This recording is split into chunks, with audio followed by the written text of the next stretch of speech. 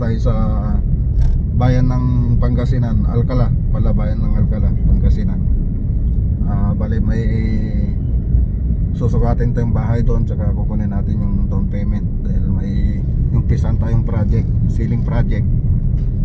Ah, bali yung tawin na kami mga boss. Ah, kasama ko pala si Buddy Noli. Tsaka Aja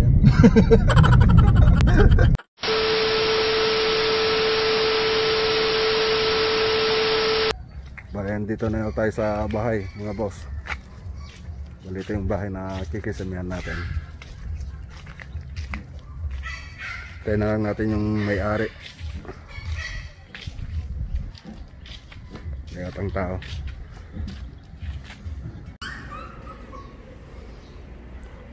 Bali, ito yung loob ng bahay, boss, na kikisamihan natin. Ah, bali, ang gagawin natin ngayon na maggagawa tayo ng 3D model para sa design. Ito yung salas niya. Ito yung dining niya. Tsaka kusina. Tapos ito naman yung CR yan, yan boss yung gagawin natin. So drawing tayo tapos tanungin natin mamaya kung ano yung design. Okay. Music Maestro.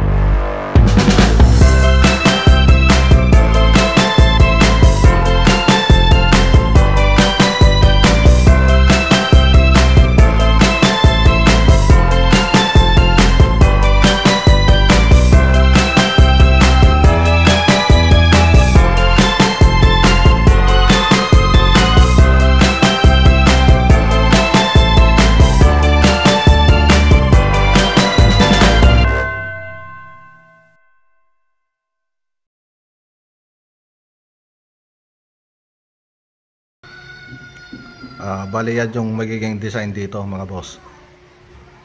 Yan.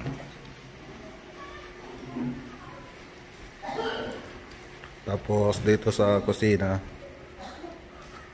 yan yung magiging design. Ah, ginawa nating 3D model. Yan. Tapos dito,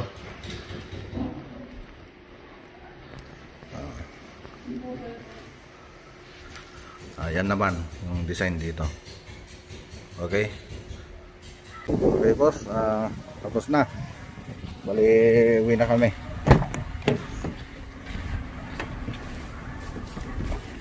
Okay. Update na lang po sa ano, susunod na video sa project na to. Ah, magandang araw mga boss. Ah, bali, first day natin dito sa ano, sa Alcala. Bali, ngayon yung unang araw natin dito. Bali, magsisimula na sila ngayon. Yung, ito yung mga materials na i-deliver na rin. Ito yung kikisamihan natin. Bali, yung design dito mga boss, ano, ah, double drop. double drop yan uh, bali hindi ko pa may papakita sa inyo pero sa 3D model uh, andun na yung ano yung design kita nyo bali nagwawalanggal na sila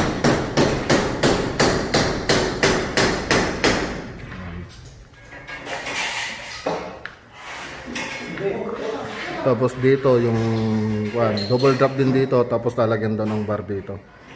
Tapos tapos flat na lang dito.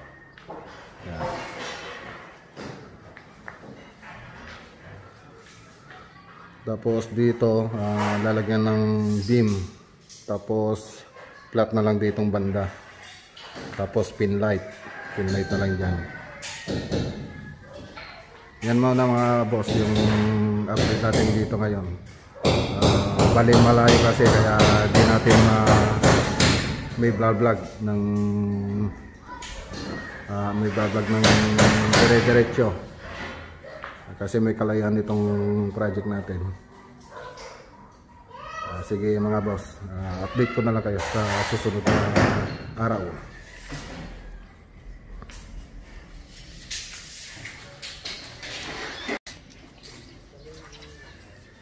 Okay, good morning mga boss. Uh, bali, ito yung pi, pang pitong araw nila sa site. Yan. Bali yung design na nilagay dito sa terrace, uh, single drop lang. Uh, bali, nag-fabricate lang sila ng ano, naglagay, inuna nilang nilagyan ng ng paring yung sa taas. Uh, ang sukat ng paring sa taas, uh, 40 tapos 2 feet 2 feet. Tapos nagfabricate sila ng paring. Yan ikinabit nila. Yan ganyan lang yung ginawa nila sa terrace. Tapos dito sa living room uh, double drop ito bali yung ginawa nila dyan uh, nagfabricate sila ng uh, 20 tapos 40 kasi itong lapad na ito uh, 40 cm ito 30 ang pataas niya is 10 cm. Bale, makikita nyo rito, ditong banda. Uh, nagwalanggal sila dito, yung buong walanggal. Tapos doon sa taas, putol-putol. Yung walanggal lang nilagay nila. Yan, dyan banda. Uh, bale, nagumpisa sila dito ng 40, tapos 30, yung paglalagyan ng paring. Yan yung ano niya. Tapos 2 feet 2 feet na 60. 61 cm yung pagitan. Yan, 61 cm yung pagitan nito. Inuna nila yung 40 tapos 30 cm. Nagpataas sila ng wala angle ng 20 cm kasi 10 cm ito, 10 cm yan. Bale, ganun ang pag-fabricate nila. Nag-fabricate sila ng... Sa fabrication naman mga boss dito sa drop, inuna nila yung L Uh, bali dalawang L yan na pinabricate nila. Uh, andito yung ano, sample yan. Yung nakikita nyo.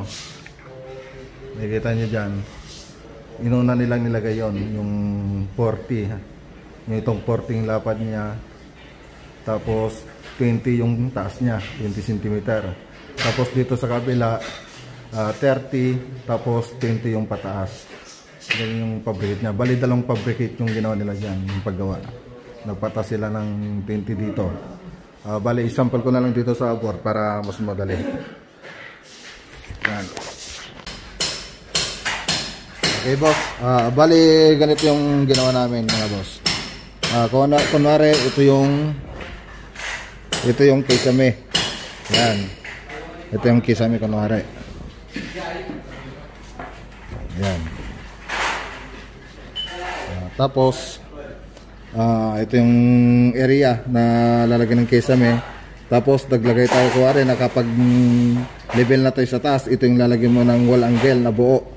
Yan. Tapos magpatas ka ng 20 cm 20 cm ang uh, itatas mo dito uh, para dun sa uh, drop. Magtas ka ng 20 cm tapos mula dito sa wall mga boss uh, maglagay ka ng uh, paring na uh, sukat niya 40 cm nakaganyan siya. Andito yung paring na putol-putol. 40 cm tapos dito 30 cm tapos dito ah 2 feet, ah, bali 61, 61, 61, 61, 61. Tapos dito sa may dulo, ah maglagay ka uli ng ah, 30, tapos 40. Ito yung wall. Bali yung unang inilagay nila dyan, mag-wall angle ka dito ng paring. Dito. Ay, mag-wall angle ka dito sa wall, yung buo. Tapos yung susunod, putol-putol na ah, paring. Yan yung yung sukat niya 40 tapos 30. Nagpatas ka ng 20. Dito rin sa kabila ganun din.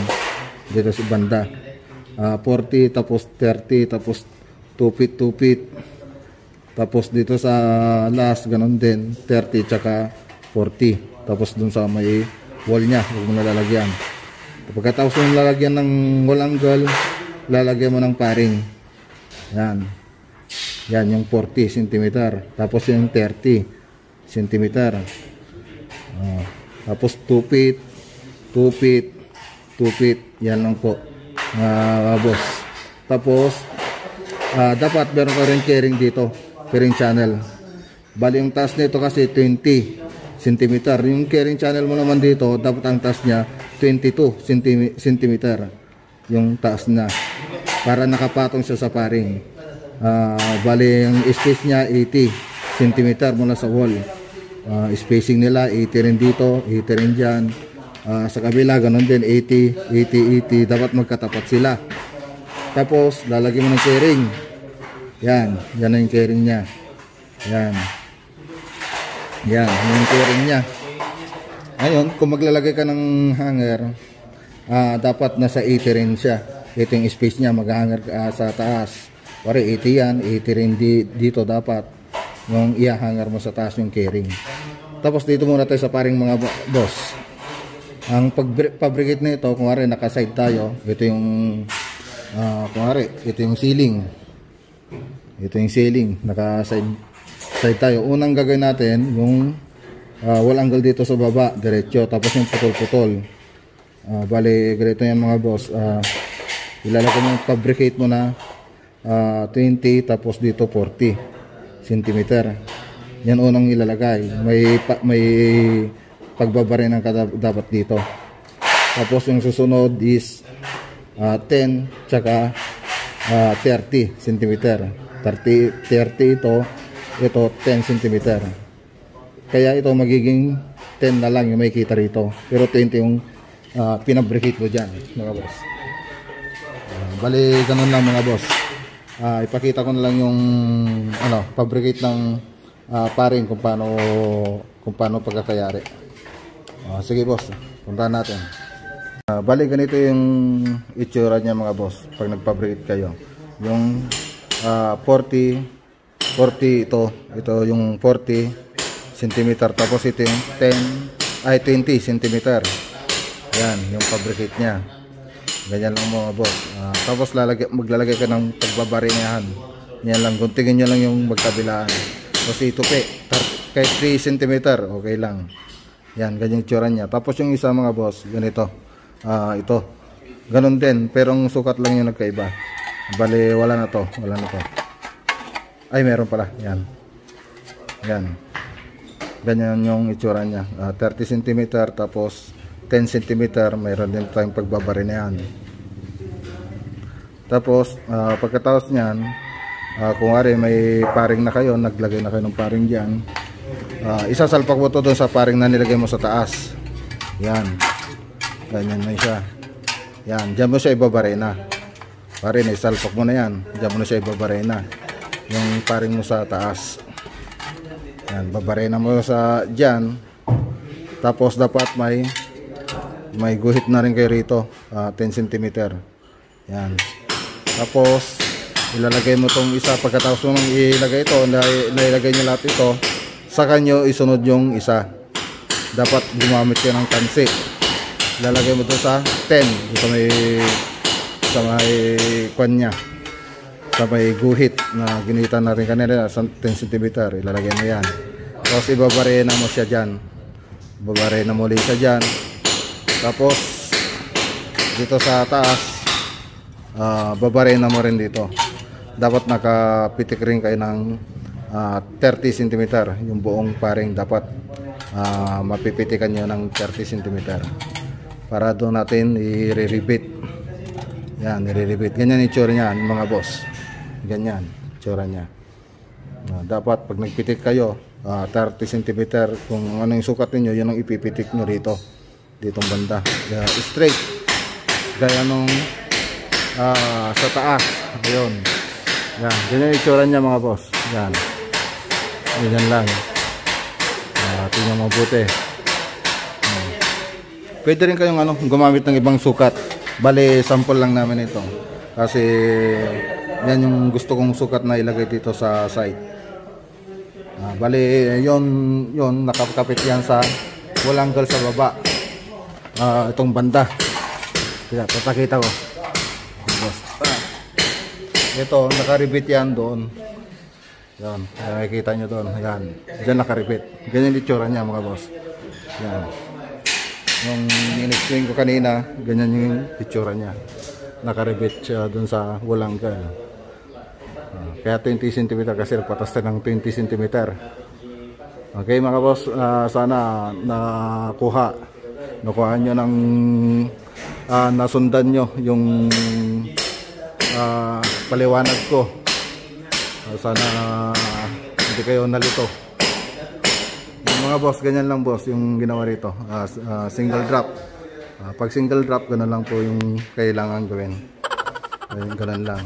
Kayo na po mag-adjust kung anong gusto nyong sukat o haba ng ilalagay nyong drop.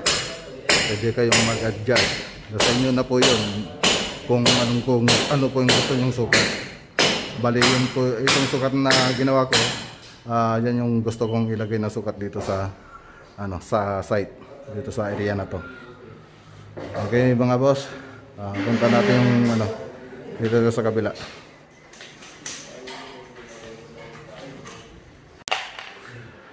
Tapos dito sa ah, dining ganun din. Yan. Bali nakapagtakip na sila. Ganun din ginawa. ah, 40 tapos 30. Sin- 10 cm yung taas dito pa, pati doon sa kabila 10 cm din yung taas niya. Tapos laglagay kami ng bar counter dito. Bali may minibar siyang maliit dito ang banda. Ah, bali may drop dyan. May nakalagay na drop light dyan. May nakabang na rin yung yung electrical niya. Yan. Tapos dito flat na lang dyan sa may kusina. Hanggang dun sa papuntang CR.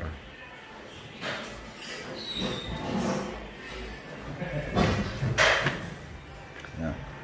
Tapos dito sa hallway, ah, ganun na rin, flat na rin. Bali lalagyan na lang ng tatlong ilaw dyan na pin light. Dito sa isang kwarto, ganyan na rin. Bali single drop lang.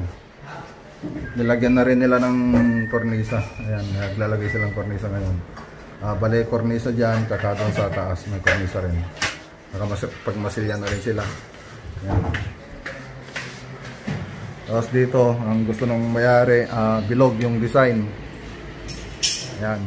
Bali, nilayout na rin nila ngayon. Ah, bilog lang, simple lang, flat lang siya, tapos lalagyan ng bilog na may cube light. Naka-center sa kama nila. Dito sa center. Naka-center dyan. Ah, bali, yan muna yung mga update ni, dito sa ano, ah, Alcala. Oh, ganun.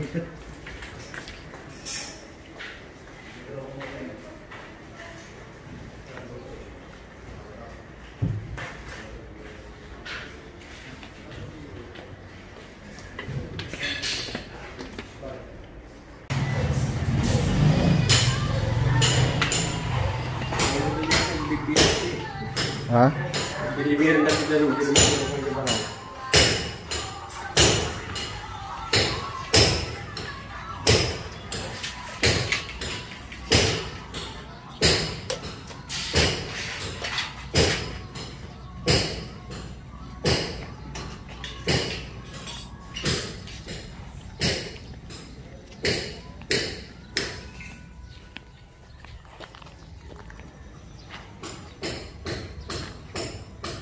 Bale yan yung bahay boss sa labas.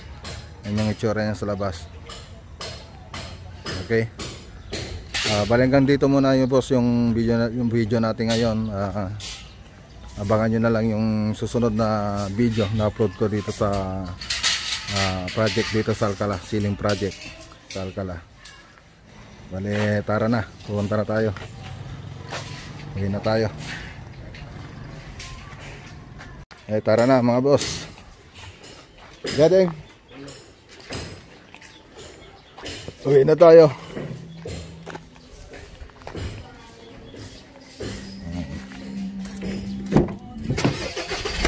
Balen yung partner natin, si Badinoli. Yan. Ano natin yan?